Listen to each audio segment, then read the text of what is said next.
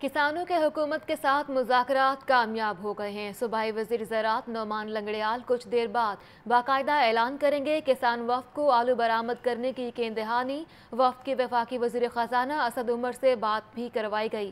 اسی پر بات کریں گے نمائندہ لاہور نیوز حافظ ندیم سے۔ حافظ ندیم، بتائیے گا۔